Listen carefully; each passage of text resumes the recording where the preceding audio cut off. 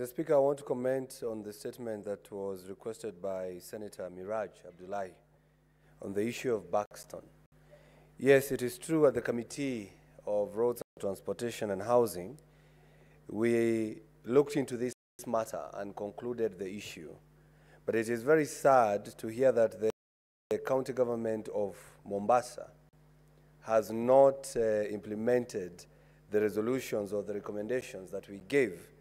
That is to give uh, share the housing units to the 184 former tenants of Buxton Estate.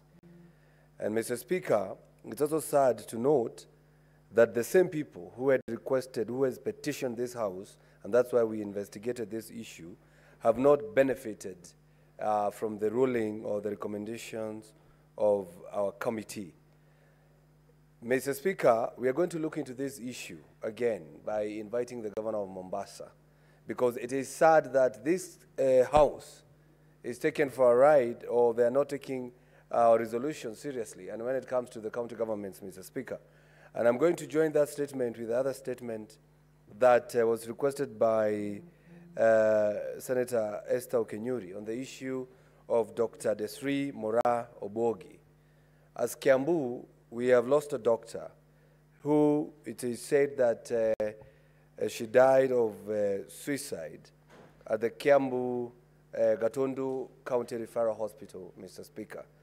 I would urge the Committee of Health to invite the governor of Kiambu to come and explain the working conditions of the people or the doctors uh, in these hospitals, Mr. Speaker.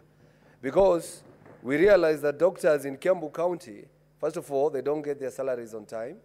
And second of all, Mr. Speaker, they were moved from the NHIF that we all know uh, that covers uh, their medical expenses to a private medical, uh, to a private insurance company called MUA, Mr. Speaker.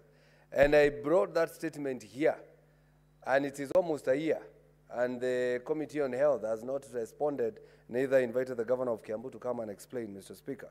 So I recommend that the governor should be here so that the working conditions of doctors in Kiambu County are well taken care of. Because you cannot go to a doctor to get uh, treatment, yet the doctor is sick himself or uh, is, is, is, is suffering from something, Mr. Speaker.